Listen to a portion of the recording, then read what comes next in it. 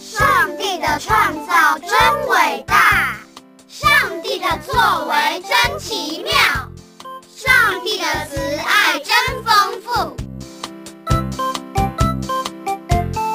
让我们一起在儿童圣经故事中享受上帝给我们的爱。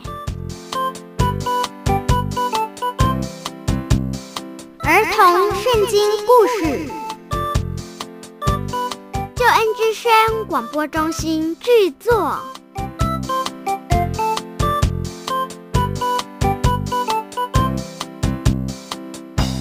亲爱的小朋友，你好！希望儿童圣经故事能够帮助你更多的认识天赋上帝。现在就让我们一起进入儿童圣经故事里。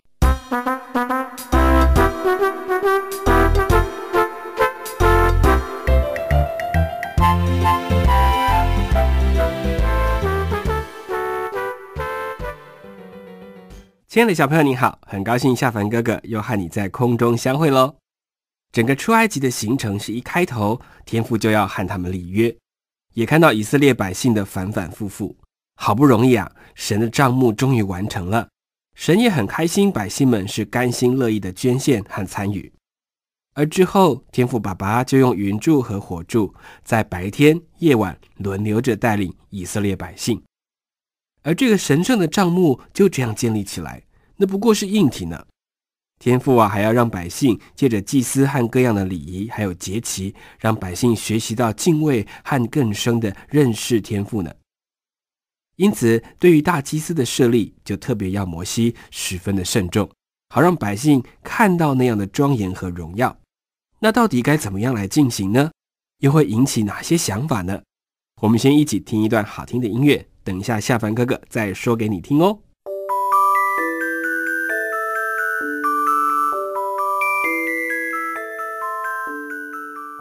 就在天父的账目做好之后，天父就要求摩西带着亚伦还有他的两个儿子到账目的门口。原来天父爸爸要正式的在圣墓的前面案例未来在这里服侍的大祭司，于是他就吩咐摩西说。你要带亚伦和他的儿子们到我的圣墓门口，你也要带祭司的圣服、按例用的圣油、一头赎罪祭的小公牛、两只公绵羊，还有一篮无效饼过来，然后召集全体的民众在圣屋的前面聚会。当摩西按着吩咐，就召集了全体的百姓在圣屋的门口，接着向百姓宣布说。我现在要执行的是遵照上主的命令，就是我们天父的命令所做的。摩西领着亚伦和他的儿子们到前面来，并且让他们用水沐浴之后，就给亚伦按着次序穿好圣衣，再套上那个带着支派名称的宝石所做的以福德，接着又把胸牌放上去，把乌棱跟土名放在胸牌里面。这个乌棱和土名。就是当祭司啊碰到那些很难判断的事情的时候，就会把这两样东西拿出来，在约柜前使用，来帮助他们明白神的心意。最后啊，再穿上礼冠，放上那块归耶和华为圣的金牌之后，就算穿完整套的圣衣了。衣服穿完了，可不是就可以开始工作喽？摩西啊，这个时候就拿出按着天父吩咐来制作出来的圣油。一一的涂抹在天父的圣木和里面所有的陈设的东西上面，这样的意思是说，从这个时刻开始，把这一切所做好的器具和账目本身都完全属于神了，就是强调这些东西啊，不可以再用在其他的用途上喽，是单单属于天父的了。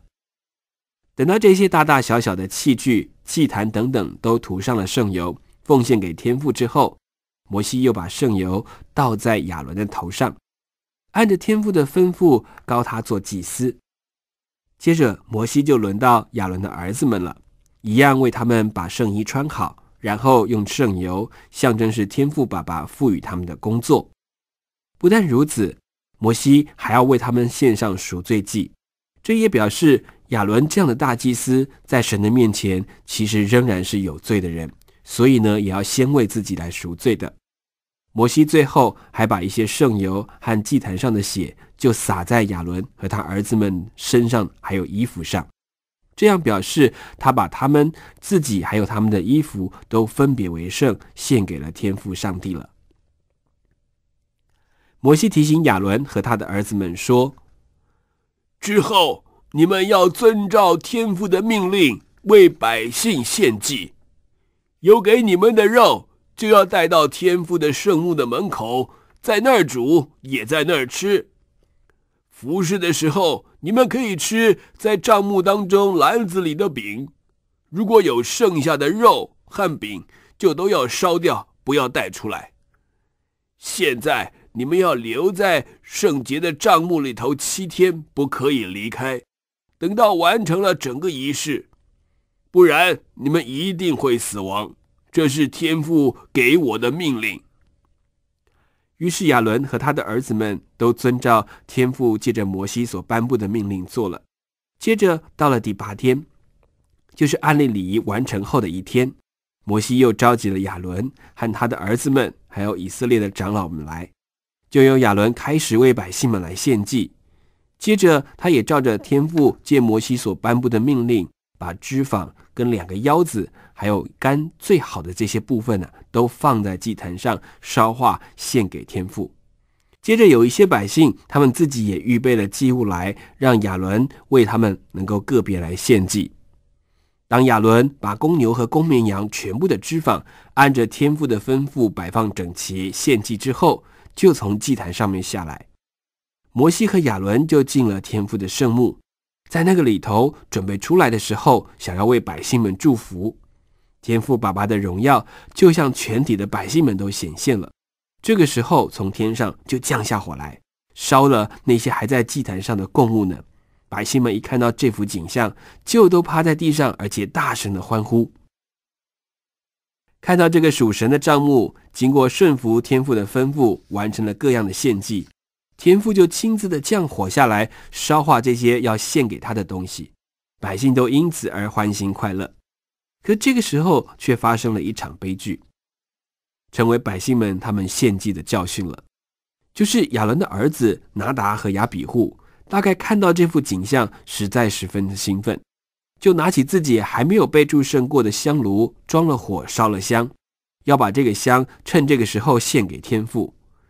可是这并没有完全按照天父所吩咐的，更不是原来已经那些分别涂过油的香和香炉。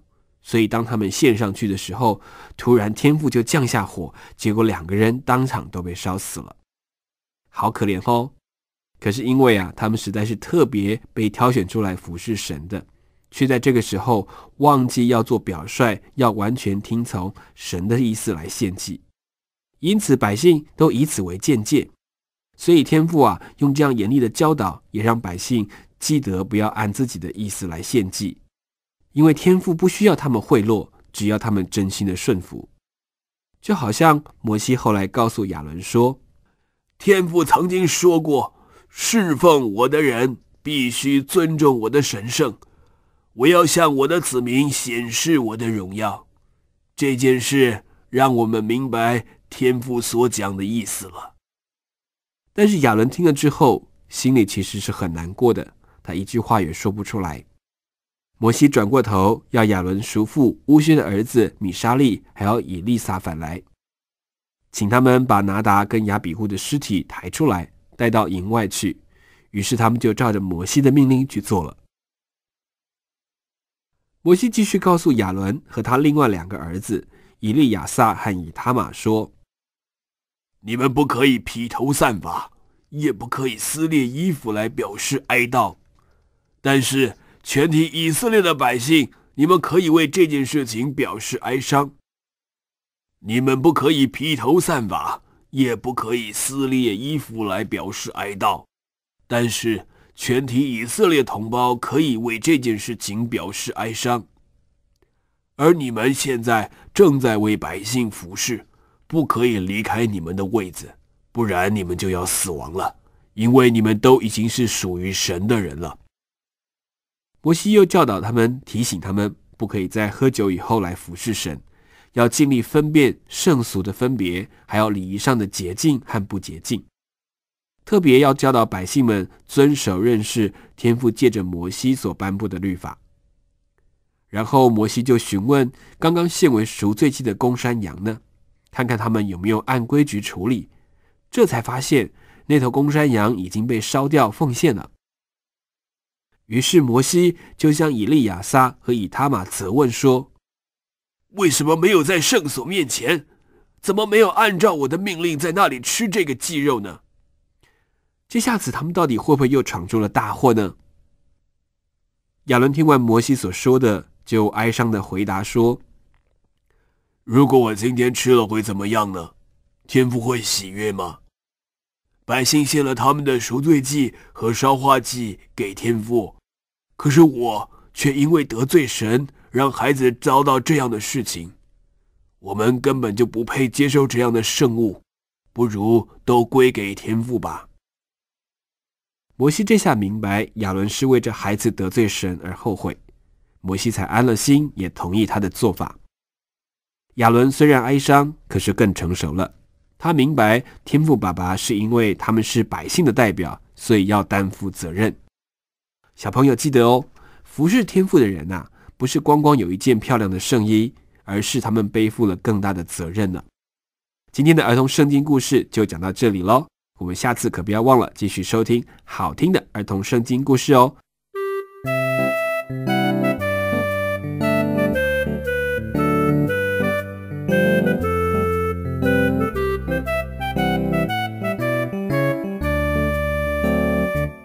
亲爱的小朋友，你现在正在收听的是儿童圣经故事。祝福你能够有一个平安喜乐的生活，天天有主耶稣与你同在，保护你。我们就下一次儿童圣经故事的节目中再会喽。